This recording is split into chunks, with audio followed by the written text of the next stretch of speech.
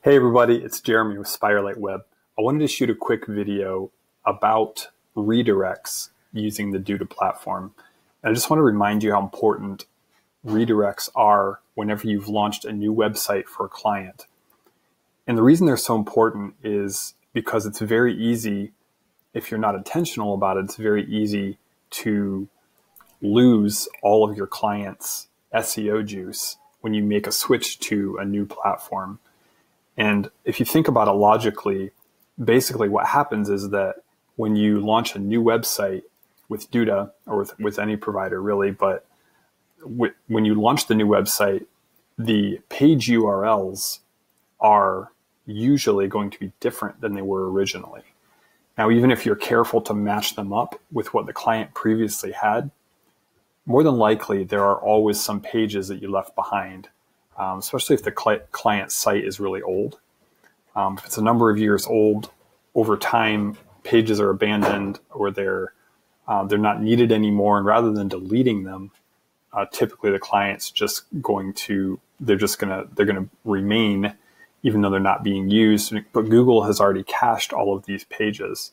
And so what you end up with, even if you're matching up URLs, you still end up with a lot of pages that Google has cached that don't translate over to the new website. And when, when Google crawls those, it ends up with 404, um, you know, you know, 404 page not found errors. And it's bad for SEO. Basically that translates to Google that, Hey, this, this page no longer exists. And so stop displaying results from it. And that's bad for your client. So, uh, you want to, you want to make sure that you, that you give attention to redirect. So here's how to avoid that.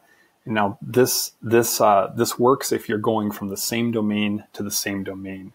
If the client is launching a new domain and they need their old domain to translate over to the new domain as far as three to one three to one redirects go, then you have a bigger project on your hands and it's kind of outside of the scope of this video. But for this video, it has to do with same domain um, redirects. And so Google makes or rather, uh, Duda makes it really easy to create these redirects. Here's how I do it. I will go, here's a site I just launched. It's called Lifegate Baptist Church. And what I'll do is I will go to, um, I'll go to Google and I will, I will type in site colon and then the domain. And if you do that and search it, it will, it will give you all of the results that Google has cached. And so for that particular domain. And so we see here there's about 24 results, and that's not going to take me that long at all to enter those uh, redirects into the Google into the Duda console here. Um, and so I'll be able to do to get through those. Most of the sites I do are pretty small. If you have a large site that has hundreds of references, it's a lot bigger of a job. But believe me, it's it's super important that you do this whenever you launch a new site. Just make it part of your workflow because um, you definitely owe it to your client to maintain their uh, search engine optimization when it comes to uh, pages and the caching in Google and other search engines.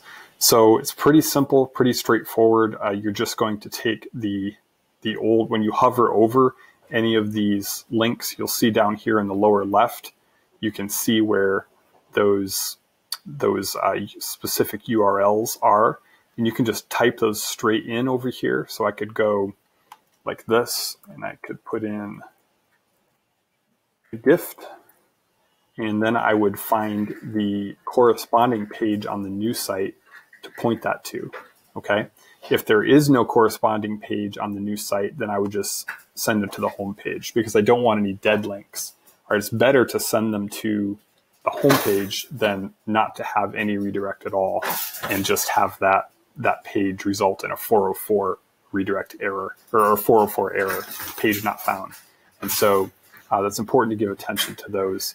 But you're just going to add that link like this and then move on right to the next one and just go work right down the list and get them all set that way. And then, of course, you want to make sure you republish to finalize those redirects. But uh, super important and hope the video has been helpful just to give you a little of reasoning behind the redirects and then show you specifically how I work it into my flow. So you want to do this right away.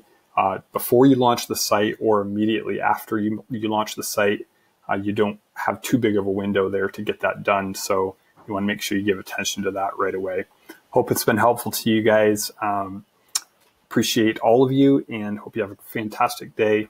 And if I can help you in any way, feel free to reach out to me on social media, send me a direct message, and I'd love to help you. Thanks. Have a good one.